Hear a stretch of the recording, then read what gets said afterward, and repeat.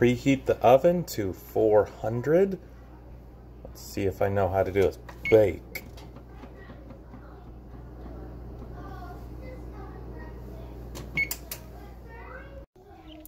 Gather your garlic. Cut off the top like so. Drizzle in oil and wrap in foil so they don't burn. And then in the oven for about 40 minutes.